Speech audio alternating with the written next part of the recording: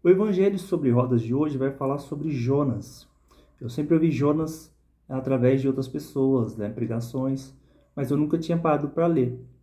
E ele é bem curtinho, tem apenas quatro capítulos e o último me chamou a atenção. Só para dar uma contextualizada, Jonas é um homem que foi chamado para Deus para poder levar a palavra na cidade de Nínive, que era uma cidade que havia muitos pecados. Ele tentou fugir dessa responsabilidade, dessa missão que Deus deu para ele, né? Então ele entrou no barco e ia fugir para a Espanha. Deus mandou um, uma tempestade, ele é jogado ao mar. Lá o Deus manda um peixe, engole ele e depois ele é levado à cidade de Nínive. E lá ele dá a palavra, né? Ele pede para se arrepender e todos se arrependem e Deus perdoa. E Jonas fica com raiva. Essa era uma parte que eu não sabia, que está no capítulo 4. Vamos ler? A raiva de Jonas e a misericórdia de Deus. Por causa disso, Jonas ficou com muita raiva e aborrecido. Então orou assim: Ó Senhor Deus, eu não disse antes de deixar a minha terra que era isso mesmo que ia fazer? Foi isso que foi isso, foi isso, foi por isso que fiz tudo para fugir para a Espanha.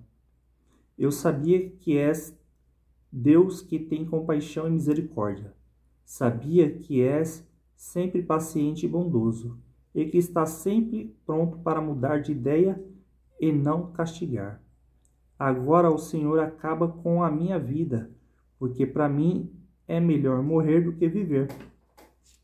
O Senhor responde: Jonas, você acha que tem razão de ficar com tanta raiva assim?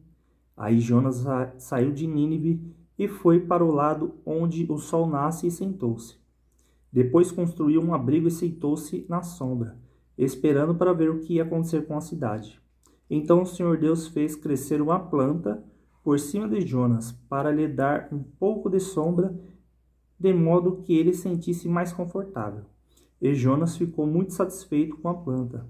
Mas no dia seguinte, quando o sol ia nascer, por ordem de Deus, um bicho atacou a planta, e ela secou, e depois depois o sol, nas... depois, depois o sol nasceu, Deus mandou um vento quente vindo do leste, e Jonas quase desmaiou por causa do calor do sol, que queimava sua cabeça.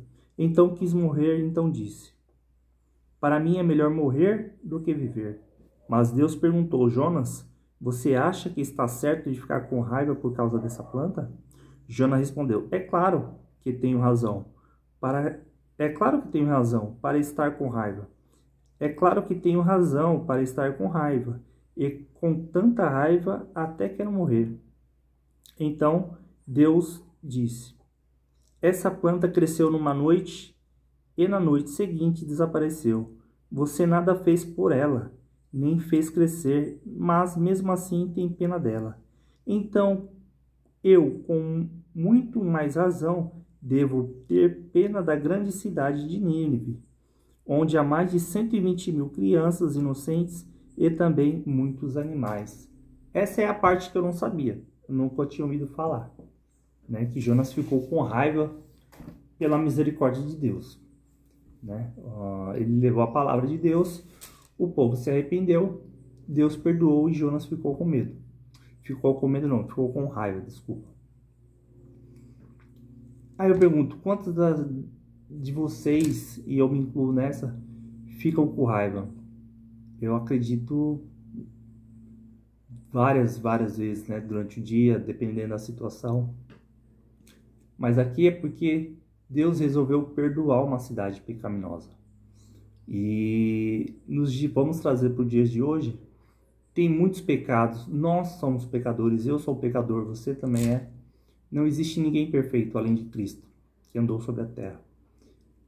É, a maior discussão que eu vejo hoje em dia é sobre os prisioneiros, né, que são soltos em algumas datas festivas ali do ano, e a população se revolta é, por causa disso, é, achando um absurdo. Concordo com isso também, mas são pessoas que praticaram, que tiveram o seu erro e estão pagando por isso.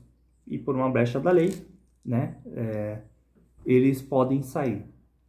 Nesse caso, é, muitos deles é, realmente é, se arrependem dos seus crimes e voltam a trabalhar, não volta por um caminho, voltam a ter uma uma retidão em sua vida, né? Deixam de fazer coisas erradas, inclusive vão para a igreja, se batizam. E a gente fica com essa raiva, mas essa raiva não tem que ser para com as pessoas. Né? A gente não pode ter essa raiva dentro da gente. É... E quantas vezes já a gente já não quis morrer por alguma coisa de errado que deu na nossa vida? Aqui fala que Deus mandou uma planta, né? Que deu Jonas saiu da cidade para ver o que ia acontecer e Deus fez crescer uma planta para dar um pouco mais de conforto a ele. E ele ficou muito satisfeito. Mas no outro dia, Deus mandou um bicho e matou a planta e mandou um, um vento muito quente e quase matou ele. Né? E ele quis, teve o desejo de morrer. E aqui fala que ele nada fez para aquela planta crescer ele não cuidou dela. E por que, que ele tem tanta raiva? Quantas e quantas vezes a gente não faz nada?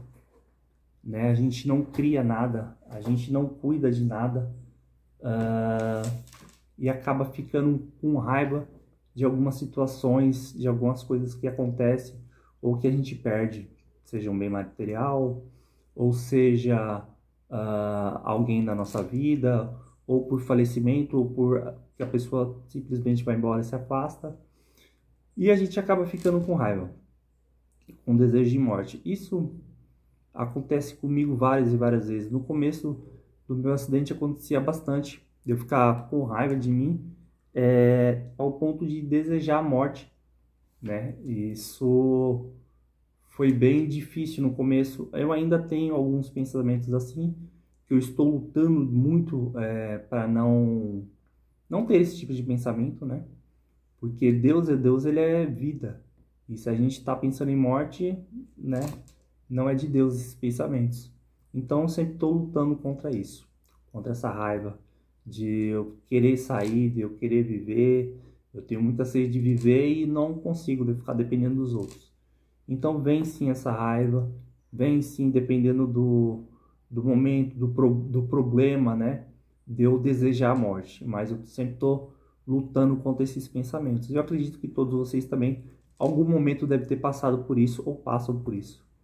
Né? A gente tem que buscar Deus a todo momento, a todo instante, que é o que eu estou fazendo. Eu falo que quando eu estou muito quieto, é, eu estou batalhando uma, uma batalha dentro da minha mente. E eu sempre estou chamando a Deus para batalhar comigo, para não deixar eu cair, porque eu não quero voltar a ser uma pessoa do passado.